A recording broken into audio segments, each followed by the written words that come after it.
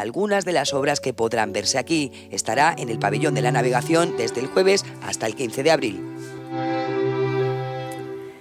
Y ya hay muchos ansiosos por saber más sobre esta fascinante exposición. Para conocer nuevos detalles nos acompaña esta mañana Elena Goroskova, que es la directora de la muestra. Muy buenos días. Buenos días. La primera vez que llega a España, aunque hay otras muestras que también en estos momentos se están exhibiendo en otros lugares del, planeta. Sí, efectivamente. Eh, hace poco hemos eh, ido de eh, Lisboa a Atenas, de Bolonia a Verona. La semana pasada hemos abierto en Abu Dhabi y eh, hay una exposición en, en Canadá ahora mismo. Es muy interesante, recoge más de 3.000 imágenes sobre la obra de Van Gogh, imágenes que son proyectadas por eh, proyectores, no solamente en las paredes, también en el suelo. Sí. Sí, eh, en esta muestra podemos ver básicamente todo lo que ha hecho Van Gogh en su vida. Y no es una exposición habitual, porque aparte de esas proyecciones tiene mucho papel o mucho protagonismo la música. Sí. Eh, está acompañada por la música clásica, muchas piezas de la cual ya conocemos como eh, la, música de Vivaldi, por ejemplo, pero hay obras clásicas modernas que estaban escritas precisamente para esta exposición. Escritas exclusivamente para esta exposición. ¿Y, por qué se busca esa combinación de esa música clásica con, la imagen de la obra de Van Gogh? Porque nos parece que acompaña mejor ah, la... Mm, lo visual que nos eh, permite, permite adentrarnos dentro de, la imagen. Es una exposición, según tengo entendido, interactiva. Los visitantes van a poder tocar de alguna manera esa, esa obra de Van Gogh. Es una exposición eh, más bien multimedia, eh, porque tú estás rodeado de esas pantallas que se mueven, las imágenes en ellas se mueven a veces simultáneamente, a veces por separado, a veces se van a, a diferentes sitios y las imágenes que están proyectando en el suelo ah, son otras. Entonces, te da la sensación que tú estás dentro del cuadro. Lo hemos comentado al principio, durante tres días 25 personas están participando en el montaje de esta exposición. Es complejo, ¿no? Sí, es muy complejo y son más días de, montaje. Lo que pasa es que eh, la, la, primera fase es lo, lo que más cuesta porque en Andalucía eh, tenemos personal muy cualificado, pero nosotros necesitamos casi todo este personal cualificado para montar la exposición. Ah, muy bien. Eh, ¿Y qué es lo más difícil de todo?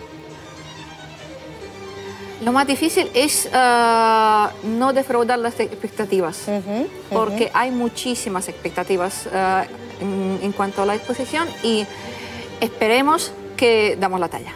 Bueno, seguro que sí.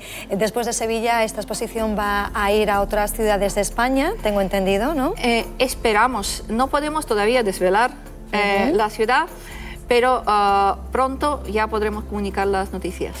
¿Qué precio tienen las entradas? Porque me parece que ahora hay una, hay una promoción que las ofrece más baratas y a partir de mañana eh, sube un poco el precio. Sí, queremos hacer la exposición asequible para todos los públicos, por eso hemos hecho una preventa con importantes descuentos. Eh, hasta la medianoche de hoy el precio es de 10 euros la entrada adulta y 7 euros la entrada de niño.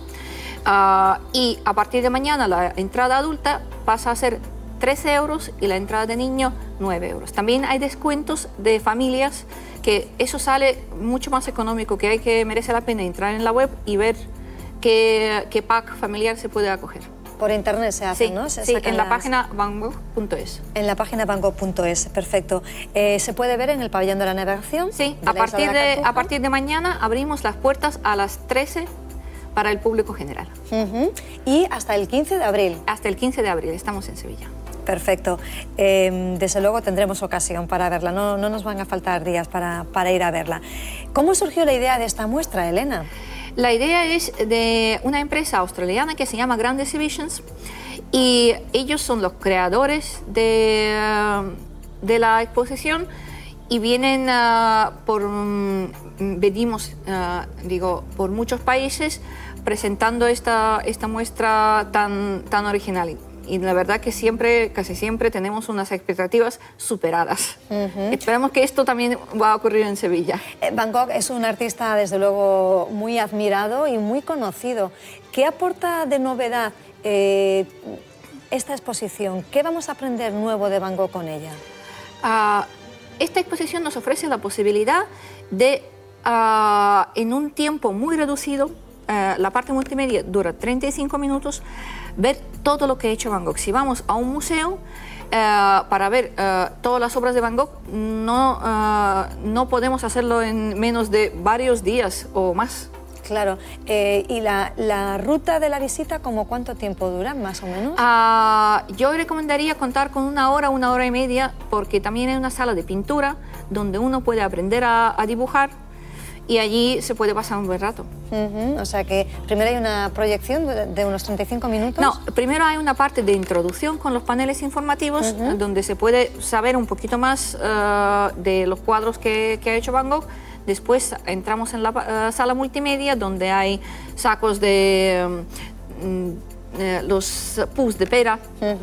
eh, donde se puede acostar uno, hay bancos, se puede tomar en el suelo, se puede sumergirse de una forma impresionante de, ah, en la obra de Van Gogh.